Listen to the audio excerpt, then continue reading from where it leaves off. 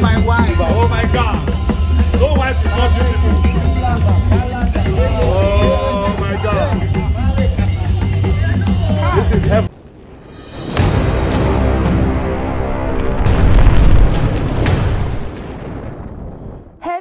Everybody, welcome back to Nigeria Direct. As we already know, yesterday the 29th of February 2024 was the internet breaking traditional marriage ceremony of our beloved Nigerian gospel artist Moses Bliss and the love of his life, his Ghanaian wife Marie Wiseborn. The traditional marriage took place in Tema, Ghana. So many celebrities turned up for the event. Celebrities from Nigeria and Ghana, from Nollywood actors and actresses to top gospel musicians to comedians and so many many other influencers from both countries Ghana and Nigerian. Being that the traditional marriage is one of the most talked about wedding right now, I have compiled pictures and videos of your favorite Nigerian and Ghanaian celebrities who attended the event to show you how they turned up at the traditional marriage with their orange ashoebi all glamorous and beautiful. This event was huge. A lot of money went into this event.